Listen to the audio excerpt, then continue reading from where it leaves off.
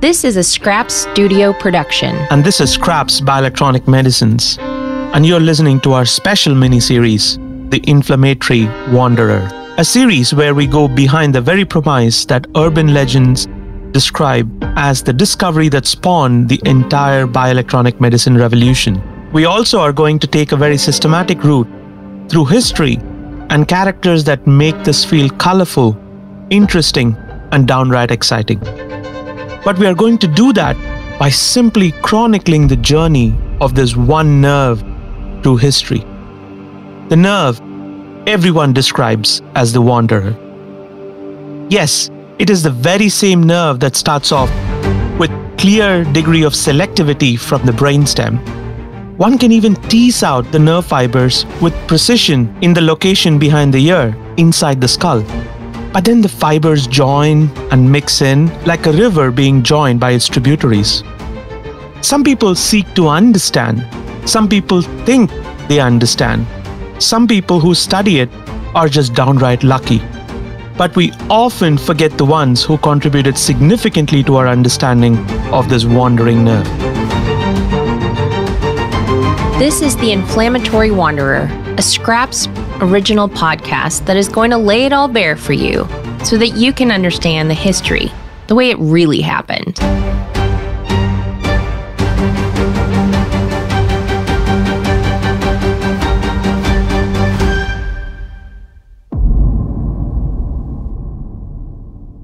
Life is a circuitous path where we move from one place to another, picking up skills, experiences, victories, and undoubtedly disappointments along the way. We actively think of it, respond to it, react to it. And if we get conditioned to the oncoming information in a good way or bad, we make it a habit to live a certain way. And nerves, much like life, do this too. The classic example is the one that we call the wanderer. Not just in what it does, but in terms of its acquaintances that this nerve has made over human history. Do we really know how people have got to talk and mistalk about what they have known or discovered about this wanderer? To do this, we must go beyond the veil of what people have told you so far. Pitch our tent beyond the fancy headlines, understand the practices that we are conditioned with that causes us to simplify, eulogize, or even villainize the people who have acquainted us with this wanderer. And through this episode and this mini series, we're going to challenge some conventional mindset of us as human beings. We are going to endeavor to share that discovery of the wanderer's influence was not a singular event conceived by a single person. Instead, we hope to show you the foundations, the root system, the trunk, and all of the branches of this powerful nerve that led to the rise and prominence of a few individuals and the renaissance of an entire field of research. We are going to peel the layers of the onion to expose these facts and values. I am Jojo Platt. I am Arun Sridhar. This is The Inflammatory Wanderer. Hey, you! Yes, I'm talking to you, the podcast listener. Let me ask you a question. Can you tell me the last time that you know of that we eulogized and attributed even the most difficult concepts to a single eureka moment? Was it yesterday? Was it last week? Was it last month? We have this image of a human jumping out of a bathtub and running naked, shouting, Eureka! Or an apple falling from a tree, or in the case of psychedelic medicine, the famous bicycle trip of Albert Hofmann. If you think you love this romanticized version, let me break this idea for you. Fortune and knowledge, or the attainment of it, always favors a prepared mind. None of these eureka moments we described and romanticized happened as a brainwave. It was because the person who we attribute its discovery to was actively thinking about it. But there is a bit of a psychological aspect for us as readers, colleagues, peers, and even, dare I say, scientists. We love the idea of saying that this one person did this, play up their name and celebrate it. And in today's world, this aspect of playing up goes beyond the conferences and the plenary sessions that one attends. It spills into the news media, and for the field that we are talking about, the field of how nerves control body function, we so easily forget all the people who came before us and pushed the field forward by a huge amount, only to ensure that we hear it from someone else and we think that they were the godparents of that field. In some cases, we classify these moments as seminal moments.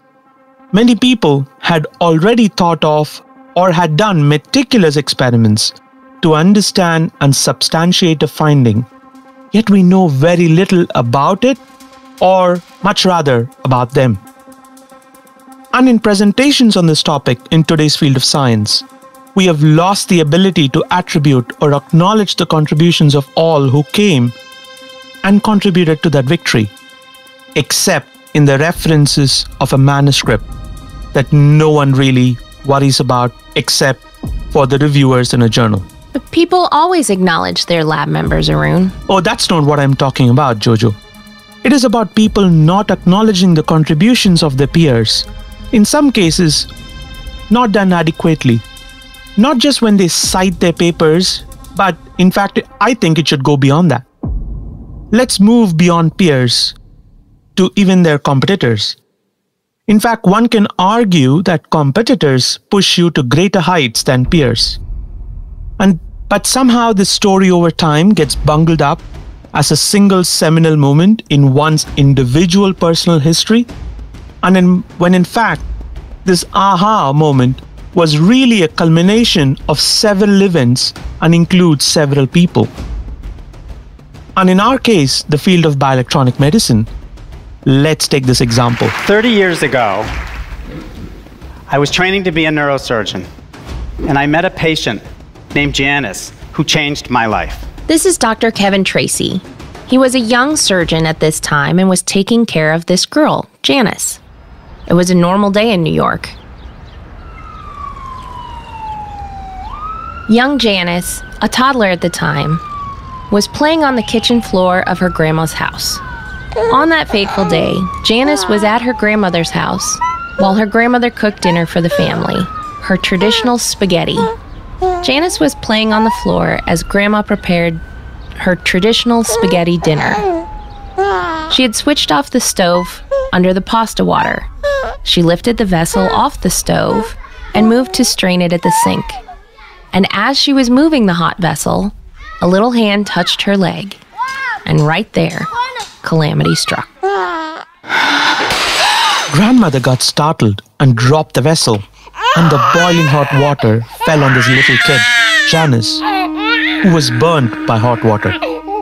She was rushed to the hospital, Grandma feeling absolutely horrendous, and a young neurosurgeon that we just described, Kevin Tracey, was taking care of her on a shift in the ER. A few days later, she was doing extremely well, and then all of a sudden, when everything seemed all right, things took a downturn. Janice crashed, and Kevin held her up. Code blue. And All much to his dismay, ER. The little girl breathed her last. That's a very crushing story that And as per many of Kevin Tracey's talks, that particular incident drove him to look and focus on inflammation control in sepsis. And he did that. He focused a lot of his early career on testing molecules that dampen inflammation, applied them to regions of the brain to assess impact, etc. Until one day, where vagus nerve stimulation seemed to be that answer. and the accolades followed. The press followed. So when we read these articles, what do we think? Press pieces such as these lead us to think that one person is solely responsible for the discovery of an entire field of research. In this case, it's Kevin Tracey and bioelectronic medicine. Like this one from New York Times. Kevin Tracey on putting it together after taking it apart. And another one from the same year titled Can the Nervous System Be Hacked? That story was all about his patient Morella, who was photographed with a vagus nerve implant that she received for rheumatoid arthritis. And the same story described a Bosnian truck driver as the first patient Kevin Tracey had. Identifying a single person as a discoverer appeals to us. We don't credit Columbus at all as discovering America. This one not only ignores Columbus's shipmates and benefactor, but completely ignores the fact that America was already inhabited, or even that Leif Erikson hit the old US of A 500 years prior to that fateful day in 1492. We don't include the quote unquote little contributors, like the famous janitor that JFK found in the halls of NASA, who was doing his part to put a man on the moon. I like my origin stories to be nice and tidy, with a single date and a single name. I doubt that I'm alone here. But is this ever really true? Is what true, Jojo? That there's always this one singular seminal moment in our lives, and this one instance of just one person's thoughts transformed the field of bioelectronic medicine from the garage play of neuroprosthetic players into this mainstream area. If you read the press releases and even some notable general public media, you have to wonder if there is some subliminal message that one person got there before anyone else, without help from competitors, colleagues, or others.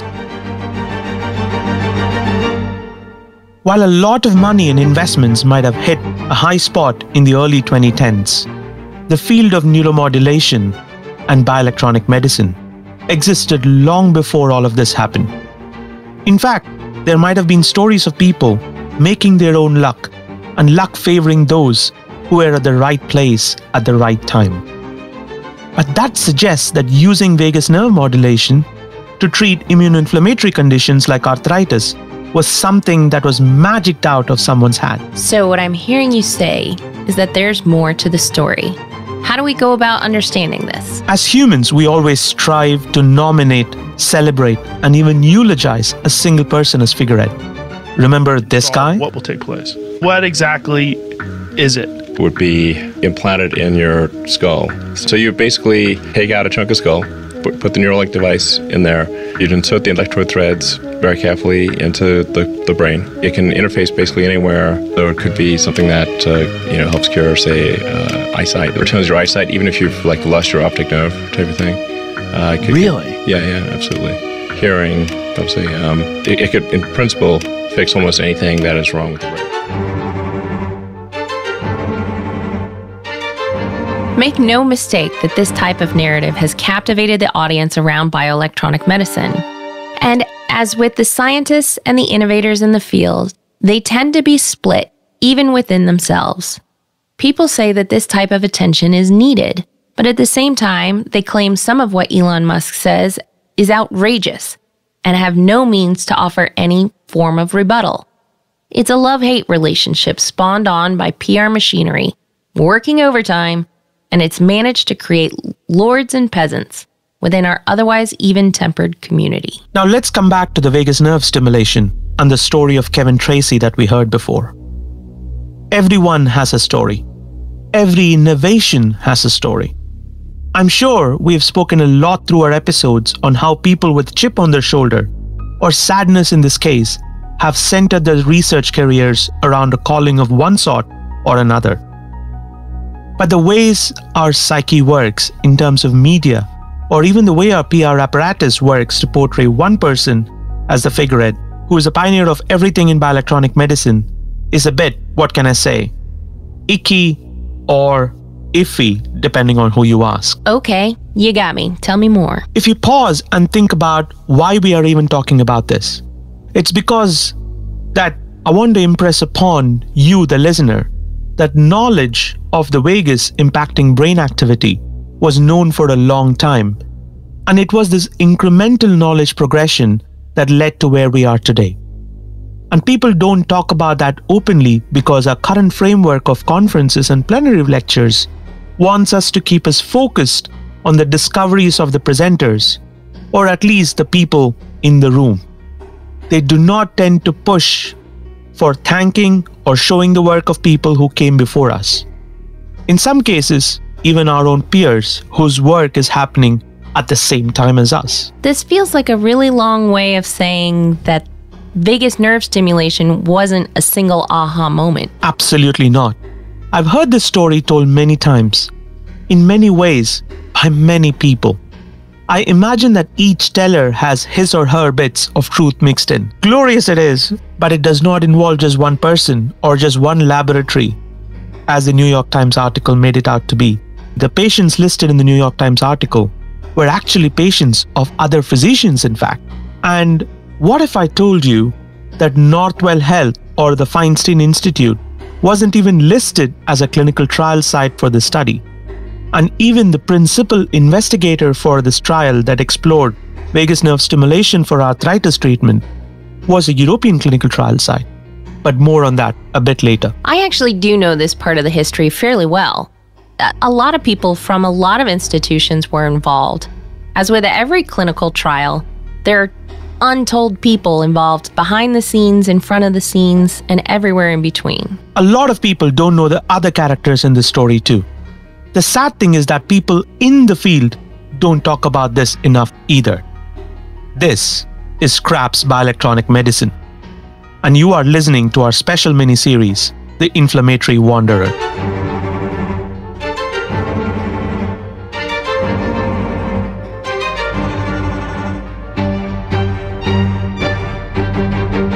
We're going to talk about how neuromodulation for swollen joints and other inflammatory disorders are potentially going to be tackled, with special focus on the wanderer, the notorious vagus nerve. Before we dig any further, let's take stock. Let's see how this step of innovation would have been taken for a neurosurgeon who had just finished his training and be exposed to an emerging area of vagus nerve stimulation for immune inflammation. So, what are you trying to say, Arun? Spill it. I'm saying the following Vagus nerve stimulation for rheumatoid arthritis clinical trial is a momentous poster child for bioelectronic medicines. But we are totally challenging the narrative that it was one man's ingenuity that led to this invention. And on top of that, I need to convince you that the field existed long before this type of narrative came to be common practice. But Arun, I was there. Maybe not for the 2002 inflammatory reflex paper in Nature, but I was there for the 2013 Feinstein GSK Boyden Slaoui lit Nature letter. You know the one where we're still calling it electroceuticals? So I do know it, and better than most people do. Well, that's the nature of the game. But let's start from the beginning. Just in the last year, the United States' premier funding body, the National Institutes of Health, has unveiled funding in excess of $20 million per grant for studying the vagus nerve.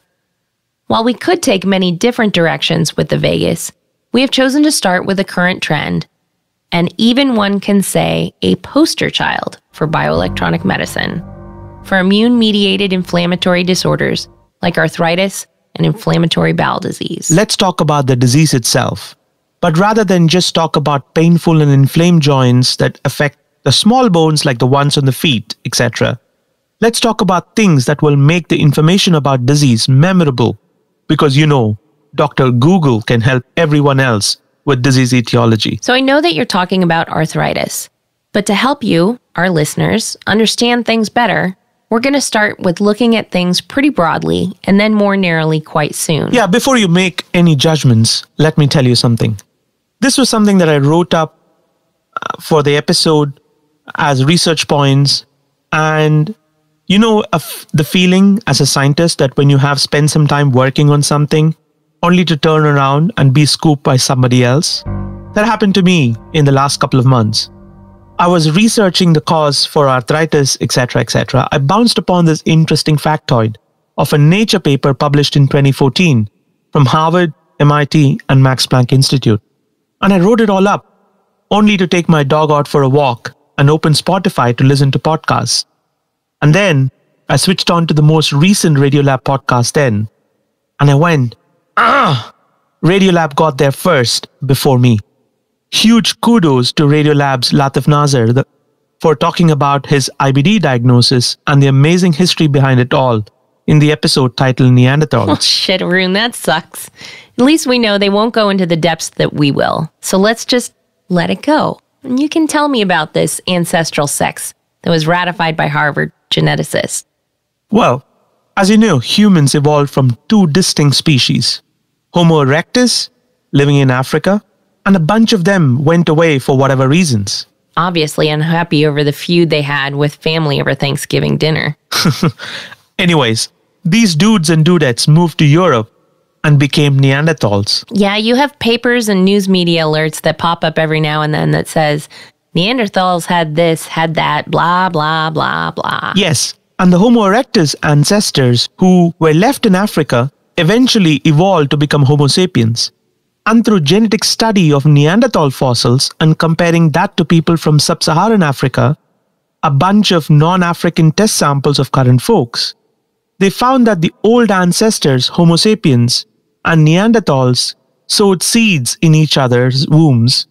And the manner in which it happened is why some of us, Homo sapiens, ended with parts of Neanderthal DNA. Oh, that's really interesting. I thought it was only HIV that spread from one species to yeah, another. These Neanderthals adapted to their environments in Europe, which was distinctly different from Africa, and started having different changes to their genome and microbiome that colonized their gut, skin, and hair, and made them prone to some infections. Yeah, and Neanderthals were more evolutionarily fit to survive in non African environments. The big changes scientists found was in their skin, the keratin pigments, etc., that provided them with thicker insulation. In addition, the manner in which the Neanderthals acclimatized to the new environment also meant that they were also early experts in self care and self medication. They understood what they needed to do to experiment with plants around them and almost test out various hypotheses to satisfy the physical needs in health and disease. And this means that they probably harbored a different set of microorganisms to their African ancestors. Okay, but how do we know that? Three Neanderthals fossils were found that had a massive tooth abscess. An analysis revealed that samples from this abscess was loaded with plant DNA that existed alongside Neanderthal DNA. And the plant DNA that was found in abundance was that of poplar tree leaves, specifically the poplar bark. Poplar tree bark? Really? Yeah, yeah, poplar tree bark. It's found a lot in Europe, which makes it really interesting. In fact, what makes it really interesting is the fact that poplar leaves contain slightly higher concentrations of salicylic acid, and that's aspirin. Holy cow, a painkiller. Were these the first ancestors who even tried to self medicate a compound known to man in its natural Yeah, form? Yeah, probably. I guess. I knew you were going to bring that back. Okay, so you're telling me that sex between two different species of ancestors who might have coexisted has led us to Homo sapiens being more prone to autoimmune disorders. So, this made them more prone to gut disease and liver inflammation. And the evidence that Neanderthals and Homo erectus and their progeny mated and resulted in today's modern humans is found in some genetic similarities. But one theory of autoimmune disease is that genetic predisposition, which some believe comes from our ancestors who were prone to inflammatory disorders of the gut and the liver and our skin, that predominates in European temperate climes compared to equatorial climes. Arthritis being one of the autoimmune disorders probably has a similar origin, but it can be difficult to say. Clear genetic markers are yet to be identified. And I remember you told me about bugs. Let's move from ancestor mating and genetic preponderance to bugs. Yeah, evidence to this comes from some clinical evidence that shows that patients with rheumatoid arthritis have much higher levels of a bug called Prevotella copri in their gut compared to non arthritic individuals. And that immune reaction to this bug might make them more prone in some way to the processes that target the joint tissue and leads to degradation of the joint tissue that causes arthritis.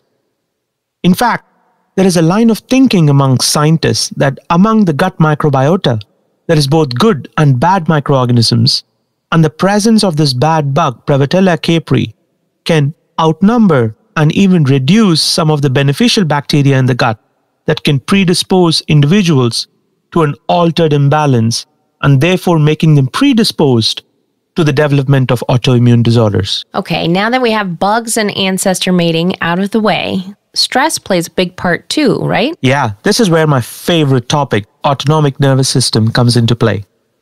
The body's natural homeostasis is a constant interplay between sympathetic and parasympathetic nervous system. Sympathetic, in the most simplistic view, being the one that responds to the body's immediate needs, like a startle response or a fight or flight response when everything shuts down except for the most vital functions heart rate, blood pressure, and increased blood flow to the legs to flee from danger. And the parasympathetic nervous system, which can be tuned, regulated both by specific acts like breathing, meditation, yoga, as well as the electrical stimulation of the major parasympathetic nerve, the vagus that we are discussing, to regulate bodily function. So you can imagine how the sympathovagal balance can be up or down during stress and how this can trigger some of the issues associated with how arthritis can be triggered. Yeah, but before we go any further, it is important to clarify that while there are many theories like what we said, the exact nature of how rheumatoid arthritis can start in a specific individual is hard to ascertain at the current time. Such theories are the foothold of the microbiome community, where they believe one day they can treat autoimmune conditions like arthritis with microbiome manipulation. But let's come back to bioelectronics. Prior to anyone exploring electrical modulation of the vagus, there were some OGs, original gangstas in physiology, who were exploring the role of what neurotransmitters did. And in this process of discovering various neurotransmitters and their physiological effect, scientists from the late 1800s through the 1930s did some remarkable work elucidating the mechanisms. With the rapid advancement in the pace of pharmaceutical discovery, these understandings in neurotransmitter mechanisms led to the development of blockers or activators of these receptors. And as a result, the way we think of the impact of what is currently referred to as the sympathetic and parasympathetic nervous system was spoken of using the language of pharmacology. Take this as an example. To most medical students or even pharmacology students, the way one describes and easily comprehends what the vagus nerve does is by understanding what the underlying neurotransmitter, acetylcholine, does. So, medical students are usually taught a mnemonic to understand the effects of the parasympathetic nervous system in the language of a drug that blocks the very receptor that acetylcholine binds to. For example, for example, mad as a hatter, delirium, blind as a bat, ocular symptoms, dry as a bone, anhidrosis, dry mouth, or dry skin, hot as a hare, fever, bloated as a toad, constipation, the heart runs alone, tachycardia, full as a flask, urinary retention, and the one that I have all the time, red as a beet, cutaneous vasodilation. So, if you knew what the function of a blocker of the acetylcholine receptors did, did you know what activation did? The exact opposite? Precisely. And the concept of balance between sympathetic, adrenergic to keep it simple, and parasympathetic, cholinergic, systems keeping the body in homeostasis came about. But there is a problem with designating sympathetic and parasympathetic systems by generalizing it as adrenergic or cholinergic systems.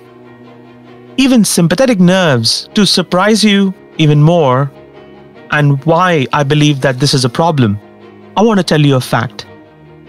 Some of the sympathetic nerves can have or can release acetylcholine as a neurotransmitter. So the generalization of sympathetic and parasympathetic is a simplified version of feast and feed versus fight or flight responses. So, somewhere along the line, knowledge about patients with epilepsy and schizophrenia having higher sympathetic tone was determined in the 1950s and 60s. This led to a flurry of activity that led to the advent of a multitude of modulators of sympathetic nervous system in the brain, like the dopamine antagonists. But when this was happening, there was a remarkable study that was done in 1952 that showed for the first time that a compound called strychnine, which is an anticholinergic and also a glycine receptor antagonist, and if you listen to our psychedelic series, you would know that strychnine is an indole like LSD or other ergot alkaloid. And we're going to tell you a few steps that people undertook uh, to make the first vagus nerve stimulation implant a success. And again, going back to our first point, it was in one person or one group. But a series of studies that spread over five decades. Yet, we as humans still have the habit of compressing key discoveries to one eureka moment, and most commonly, one person. Strychnine causes an increase in epileptiform activity, and that's science speak for higher excitability. And this could be suppressed using vagal nerve stimulation. All of this stood dormant until a helical cuff electrode was developed by Cyberonics to stimulate the vagus nerve for epilepsy treatment.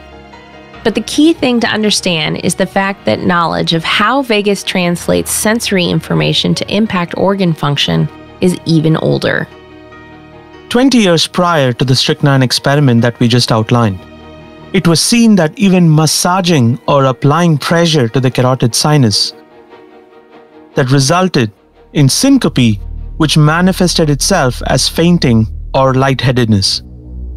The reason for this is because the vagus nerve runs alongside the carotid artery and is encapsulated in a sheath. This was followed two years later by two neurosurgeons, Bailey and Bremer, who showed that vagus nerve stimulation produced electroencephalogram, or EEG, changes. And finally, a year before the strychnine experiment was published, when a different set of authors cut the vagus nerve and stimulated the cranial end of the cut nerve that retained its connection to the brain.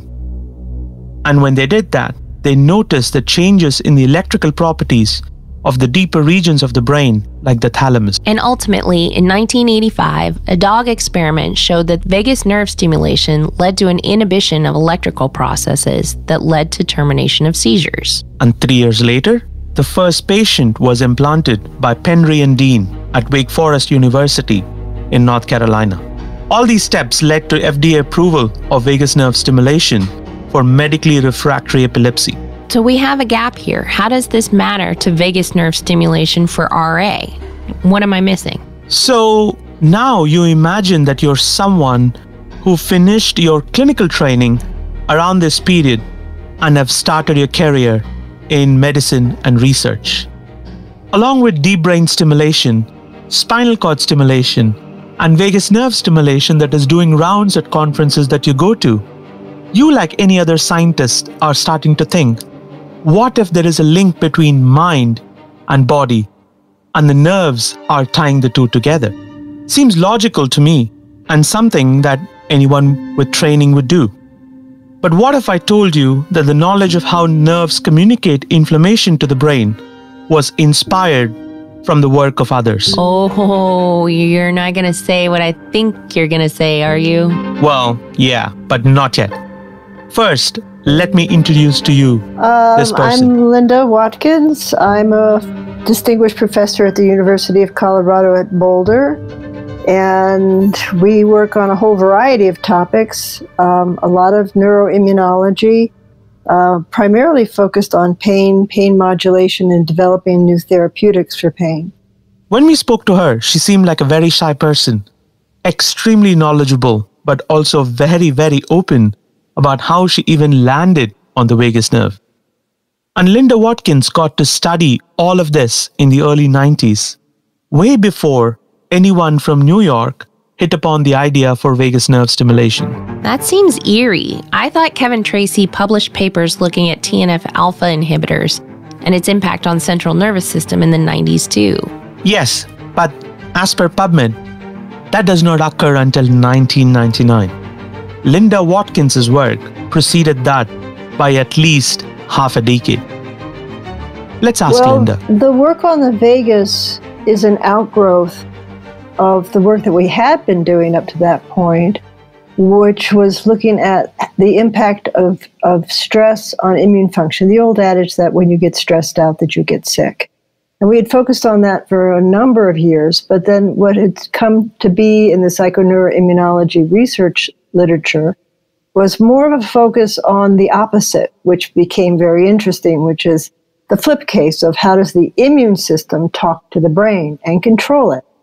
Because if you think about the last time you had a really ugly flu and what you were going through, you're running a fever, you're sleeping a lot, even the bed sheets hurt, you didn't feel like partying till 4 a.m., All of these things were happening in addition to, in fact, all the components of your blood are massively shifted to have things in your blood that will not allow pathogens to replicate very rapidly, yet stimulate white blood cells, your immune system, to proliferate very quickly, all in the service of trying to help you survive. And in the course of looking at this sickness response, from a pain background, I was very interested in the fact that even the bed sheets hurt. And we were trying to figure out from a variety of different aspects of sickness responses how does the immune system talk to the brain? Because when you think about all those sickness responses, fever, sleep, changes in food and water intake, social interactions, pain, all of that is created by the brain. So, how is it that the immune system can take over and, frankly, dominate and control what the brain is now doing? Massive changes in how the brain is functioning. And this is not a trivial effect, it's massive. So, the question had become how does the immune system do that? And the early thoughts was that it was going to be through the blood. That's what immunologists typically think of because the immune systems are floating around in the blood. Many of these cytokines, chemokines, other immune factors are in the blood. And so the natural thought was that the blood was going to carry these factors to the brain.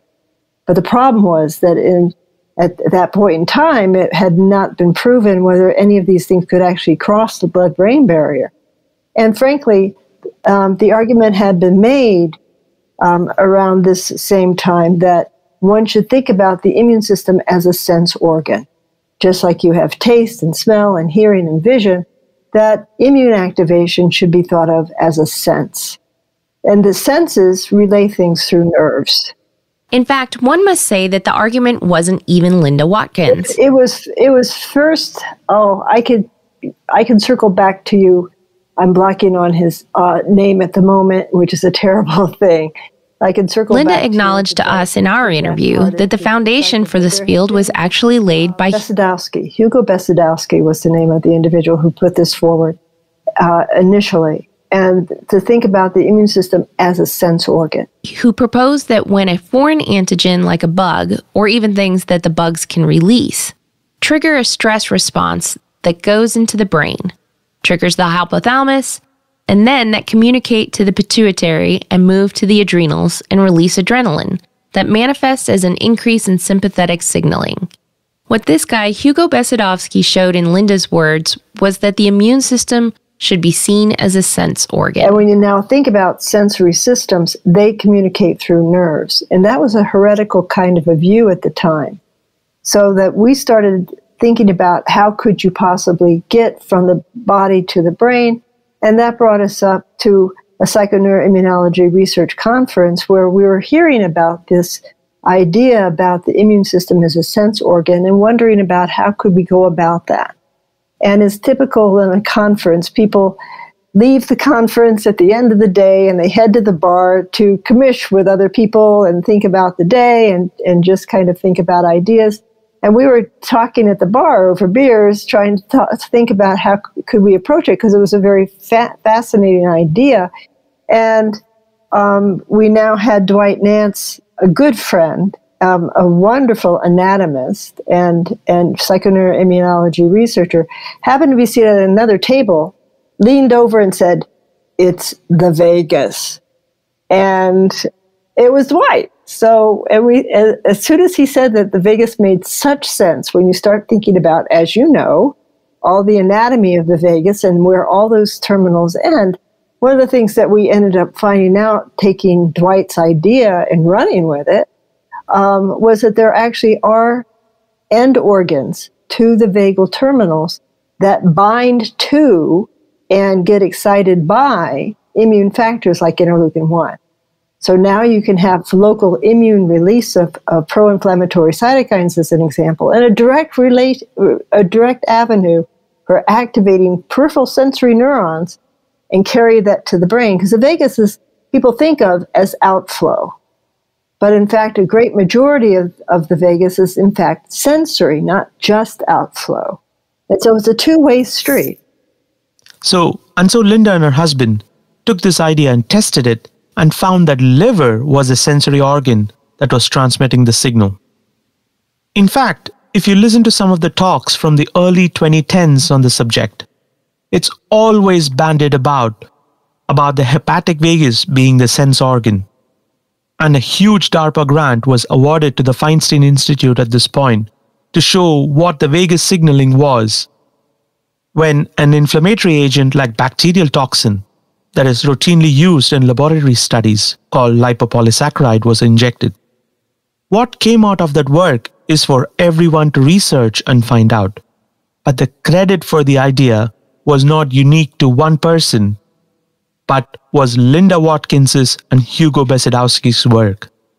And it was also around the same time that people were actually proposing that there was a great amount of kind of nutrient sensing that was that was going on uh, through the vagus from from the stomach, isn't it? Especially through the ghrelin mechanisms and all the things that was associated with with satiety. I think one of my good friends uh, from Australia, University of Melbourne, I think he was somebody who was looking at that purely from a pharmacological perspective, and we were working in the pharmaceutical company GSK at the time. I mean, he actually ran quite a lot of those. John Furness uh, at University of Melbourne actually ran quite a number of assays for us at the time, looking at ghrelin receptors and how that can actually induce satiety. And in fact, all of those kind of travels to the brain via the vagus.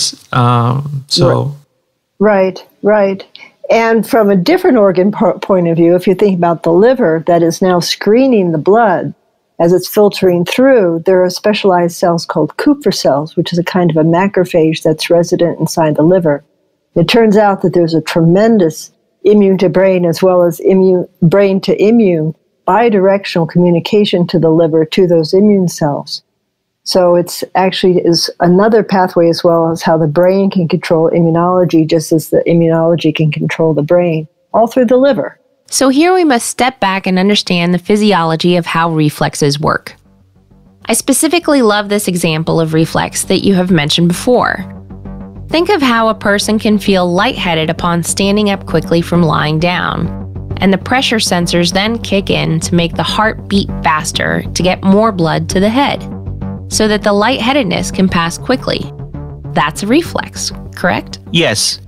The information that inadequate blood flow to the head is happening upon someone standing up from lying down, it triggers the carotid baroreceptors, which fires in return to make the brainstem send signals to the heart to make it beat faster. Similarly, the thinking was that if something was sending signals up to the brain, like in the case of the hepatic branch of the vagus nerve, then what happens to that signal once it reaches the brainstem?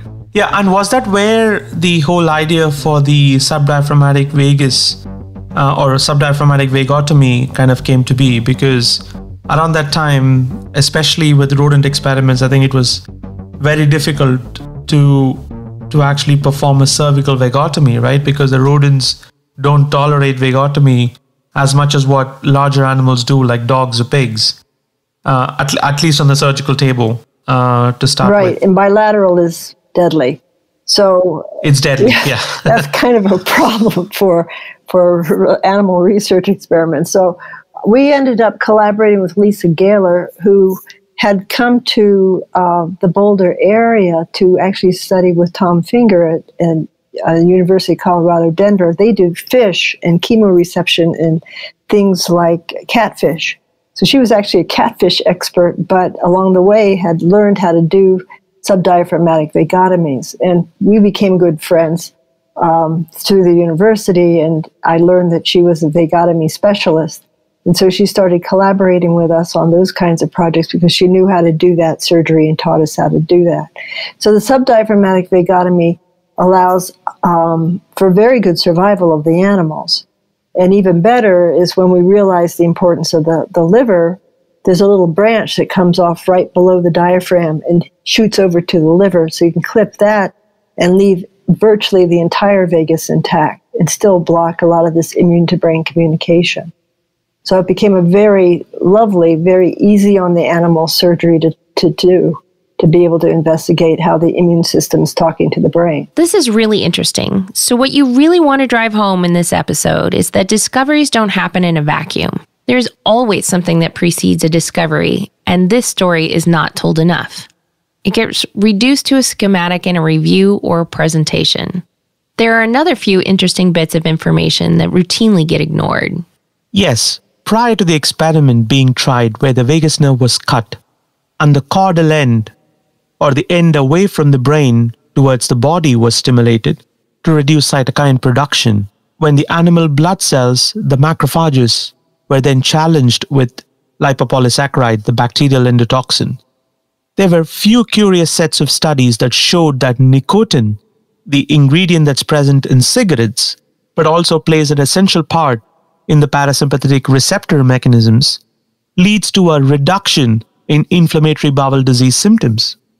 In fact, there was even a randomized control trial looking at this.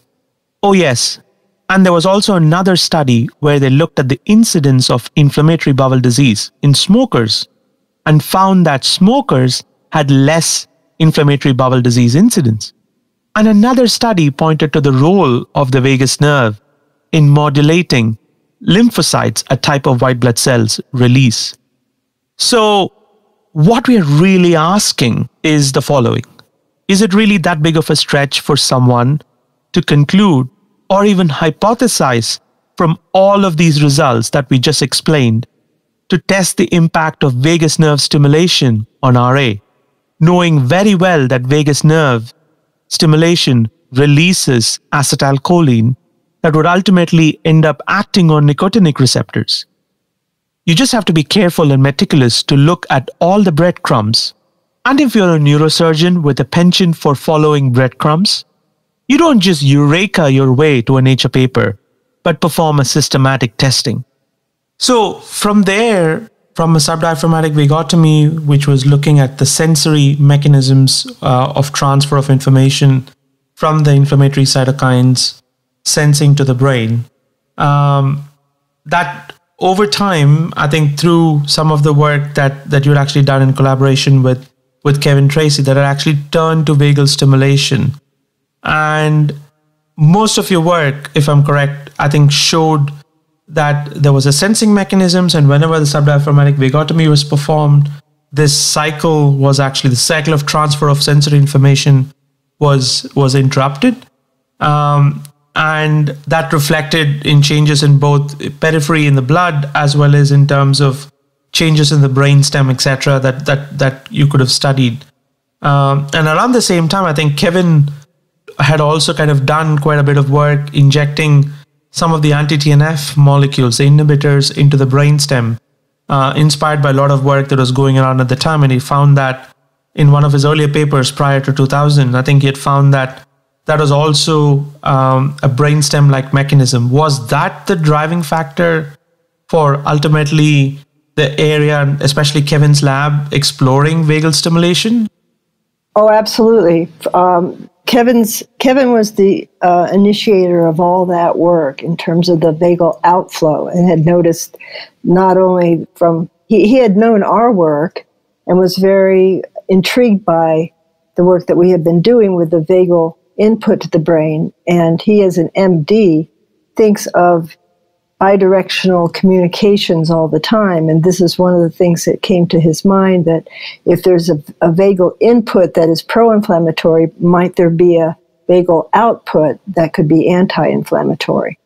And along the same kind of lines is to, to keep in mind the importance of this work of the vagus as an immune to brain communication, because what that also led to, and is not the, the reflex output that you're talking about, but is related to it, is that this is one of the ways that people came to realize the importance of glia. The entire huge field now of glial regulation of neuro of neural function came about in large part because of this work on immune to brain communication.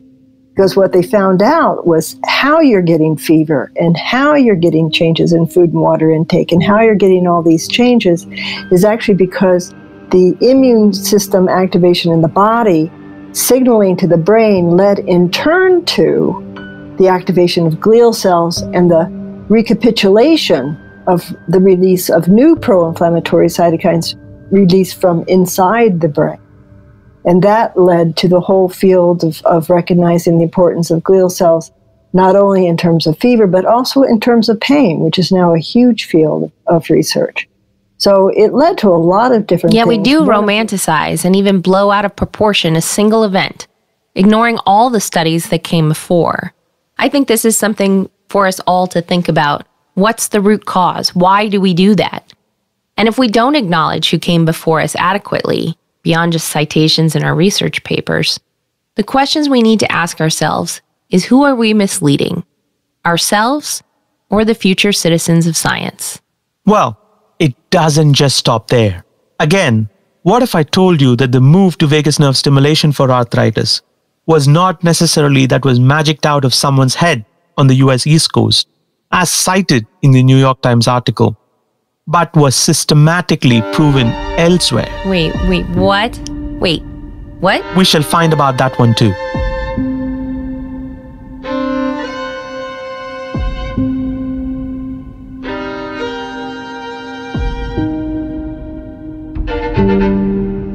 The Inflammatory Wanderer is a Skraps original miniseries produced by Arun Sridhar and Jojo Plack. The research for this series was conducted by Arun Sridhar. Personal interviews you hear were conducted by Arun Sridhar and Jojo Platt. Editing was performed by Arun, and Swaminathan Sambandam was our sound engineer. He makes us sound wonderful in your ears.